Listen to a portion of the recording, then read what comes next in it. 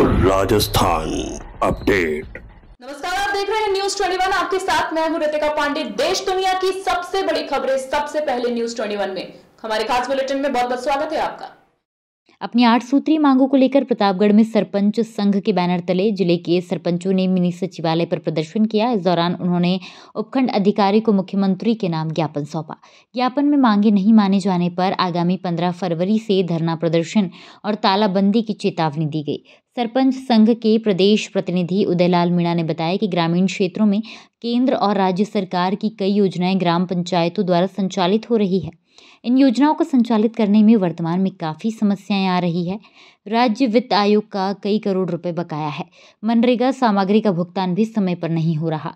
केंद्रीय वित्त आयोग की उनतीस करोड़ रुपए की एक भी किश्त अभी तक प्राप्त नहीं हुई है। मनरेगा में ऑनलाइन उपस्थिति से काफ़ी परेशानियों का सामना करना पड़ रहा है। जल जीवन मिशन योजना का कार्य करने में भी दिक्कतों का सामना करना पड़ रहा है। इन समस्याओं को लेकर पिछली 16 जनवरी को भी सरपंच संघ की ओर से ज्ञापन देकर अवगत कराया गया था, लेकिन समस्याओं का अभी तक कोई समाधान नहीं हुआ। सरपंच संघ की मांग है कि तमाम बकाया राशि का भुगतान समय पर हो।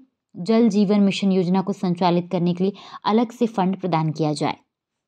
पेयजल संबंधी सभी विद्युत कनेक्शन को व्यवसायिक से हटाकर कृषि में किया जाए।